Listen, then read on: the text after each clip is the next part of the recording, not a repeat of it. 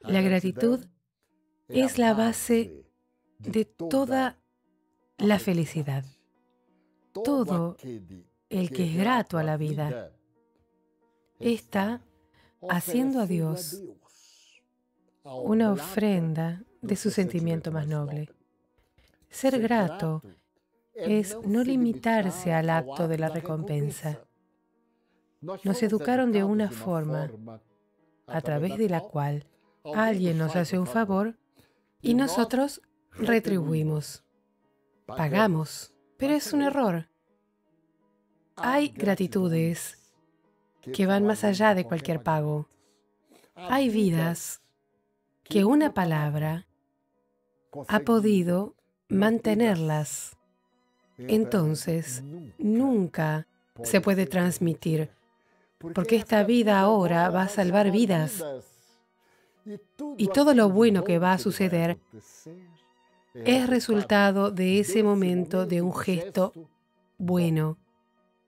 Por lo tanto, cuando se es grato, nunca se sufre ningún tipo de decepción o queja, porque nada espera en respuesta a lo que realiza. Cuando nosotros amamos, cuando nosotros plantamos esperanza, cuando nosotros estimulamos el avance, Dios mío, no tenemos quejas. Si no fue un éxito, por lo menos lo intentamos.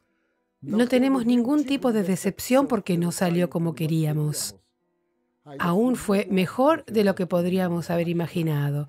Entonces la respuesta en la vida es exactamente sembrar, sembrar.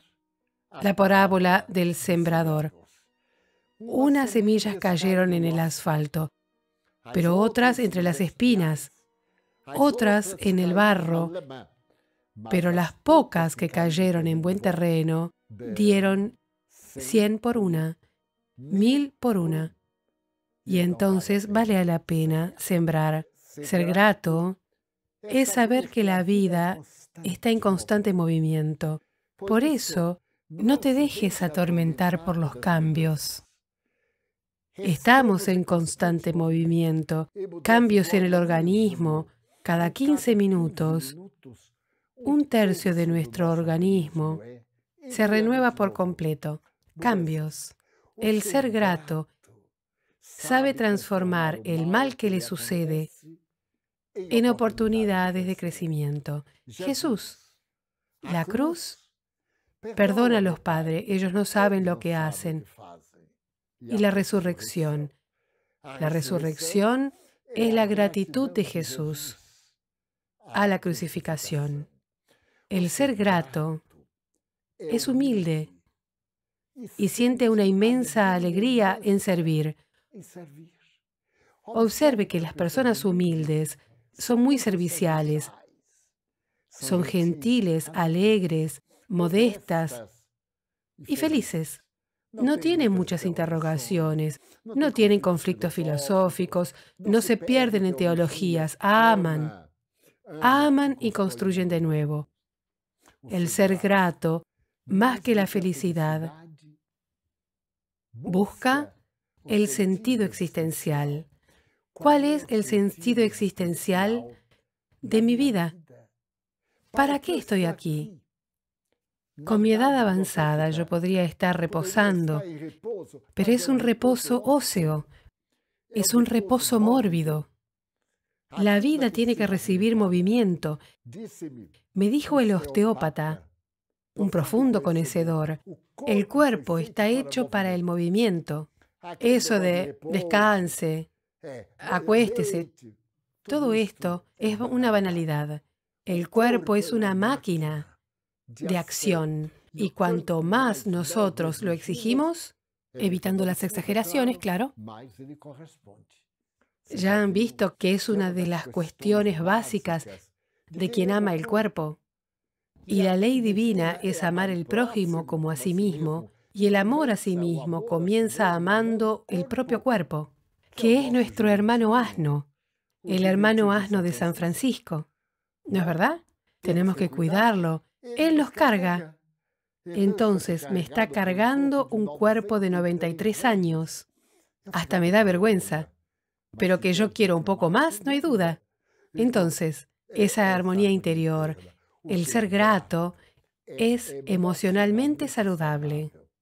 Note que cuando estamos enojados, perdemos la salud integral, la rabia nos intoxica, pasamos a tener todos los tormentos mentales y pensamos que la vida no tiene sentido, que ni siquiera vale la pena querer a los demás, porque nosotros estamos emocionalmente heridos. Pero si recordamos los momentos felices que vivimos, si recordamos que estamos viviendo, entonces emocionalmente estamos saludables y extrañamos los momentos buenos que son insustituibles. El ser grato busca la paz. Uno es grato a todos los que durante nuestra vida nos ayudaron. Periódicamente reflexiono como un niño de Feira de Santana, con una familia muy modesta, casi analfabeto, con cursos primarios, pudo encontrar a Jesús en ese laberinto de teologías y religiones y tuvo una existencia tan larga para poder implantar el mensaje de ese hombre no crucificado. Nuestro Jesús es el de la montaña.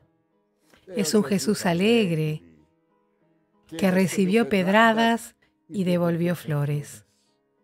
Siempre recuerdo una paráfrasis linda de Tagore. La violeta, cuando la pisa el caballo, devuelve su destrucción perfumándole la pata. Jesús devolvió la cruz hablando de la mañana radiosa de la inmortalidad, de que nosotros, después que atravesemos esta noche que se alarga, de vencer estos desafíos morales que nos aturden, de adquirir la certeza de la inmortalidad, porque esto muy pronto pasará, todo pasa. Encontraremos a nuestros afectos para siempre. Disfrutar el paraíso de la paz y no arrepentirnos de todo el bien que hicimos. Es el mensaje del espiritismo. Sé tú quien ama. Qué bueno. Sé tú quien distribuye perfume. Sé tú quien perdona. Aunque te duela en el alma, perdona, desata el nudo y libértate. Sé tú el que sigue a Jesús.